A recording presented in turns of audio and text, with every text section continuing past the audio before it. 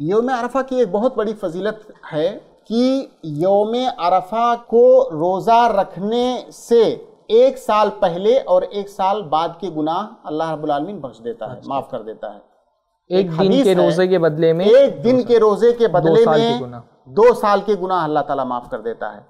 एक हदीस है अल्लाह के नबी वसल्लम की सियाम यौम अरफा अहतसिबु अलल्लाहि अन युकफ्फिर सना अल्लती क़ब्लहु वस्सना अल्लती बअदहु। एक दूसरी रिवायत में है अस्सना अल मादिया वस्सना अल बाकिया। कि मुझे अल्लाह ताला से ये उम्मीद है कि योम अरफा के दिन रोज़ा रखने से अल्लाह रब्बुल आलमीन एक साल पहले के और एक साल बाद के गुनाह अल्लाह रब्बुल आलमीन बख्श देगा। यहाँ पर एक चीज़ वाजह रहनी चाहिए कि योम अरफा का जो ये रोज़ा है ये हजाज के लिए नहीं है। जी।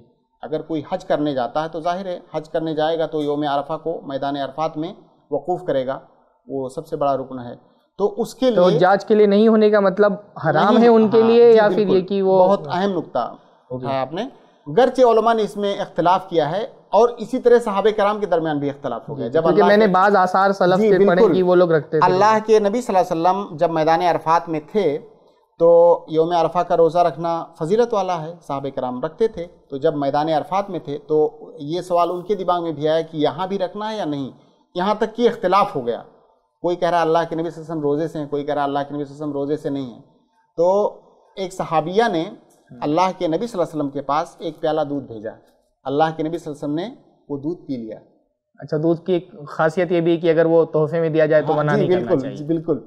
तो देखिए किसी मसले को मालूम करने का अंदाज कितना लतीफ है। खूबसूरत है। अंदाज कितना खूबसूरत है कि और ऐसा अंदाज है कि फिर किसी शको शुबह की गुंजाइश नहीं रह जाएगी। हाँ। उन्होंने एक दूध का एक प्याला भेजा और अल्लाह के नबी वसल्लम ने उसको नोश फरमा लिया।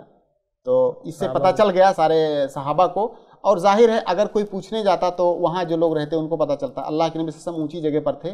जब आपने दूध पिया खबर फैल गई कि अल्लाह के नबी वसल्लम ने दूध पिया इसका मतलब आप रोज़े से नहीं हैं। अब ये मसले में कुछ लोगों ने इख्तलाफ किया है कि हराम है उस दिन का रोज़ा रखना या ये कि जो है खिलाफ सुन्नत है। तो सही बात यह है उस दिन रोज़ा रखना हराम नहीं है।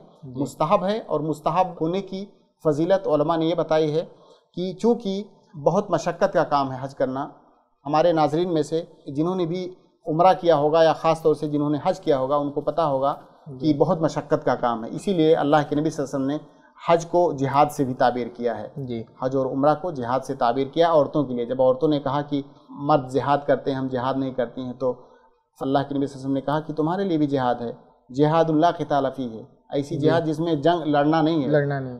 अलहज उम्रा तो हकीकत में जब आप हज या उम्रे पे जाएँगे तो आपको अंदाज़ा होगा ख़ास तौर से इस ज़माने में जिसमें भीड़ होती है इतनी ज़्यादा तो आपको अंदाज़ा होगा कि हकीकत में जिहाद है।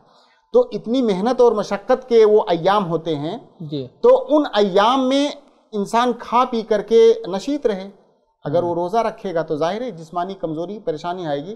तो उस दिन रोज़ा ना रखना ये मुस्ताहब है ताकि आप जिस्मानी तौर से मज़बूत रहें और नशीत रहें हाँ। और ज़्यादा से ज़्यादा अल्लाह ताला की इबादत कर इबादत वक्त सकें ये अलग मौजू है मैदान अरफात के अंदर इबादत करना उसकी क्या फजीलत है?